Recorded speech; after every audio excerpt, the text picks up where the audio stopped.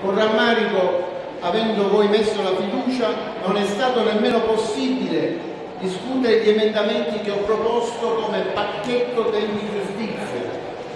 Del resto a voi non interessa risolvere i problemi, ma avere medaglie di latta da esibire sui social e soprattutto prevenire ogni possibile dissenso che già forte serpeggia all'interno dei vostri gruppi. Tutti voi, sia al governo che al Parlamento, state tradendo quanto avete predicato per anni. Nessuno escluso, né chi sta zitto e obbedisce, né chi rilascia dichiarazioni, interviste e poi si adegua, né chi critica sempre a tempo scaduto quando le decisioni sono state prese altrove. Sta diventando un'abitudine quella della fiducia. Quando si inizia, è già successo ai vostri predecessori, è difficile smettere.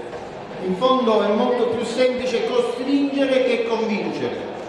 Chiedetevi però, quanto tempo potete durare se già dopo pochi mesi ogni voto segreto vi terrorizza? Urlavate in piazza onestà e trasparenza, ora vi limitate a chiedere di non minimizzare indagini su milioni di euro. E vale lo stesso per i colleghi leghisti, per contratto, voterete a favore.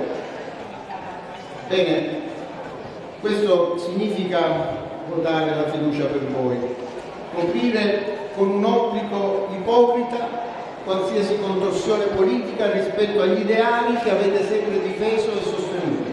Per questi motivi, con dispiacere, annuncio il voto contrario di liberi e uguali alla fiducia. Grazie.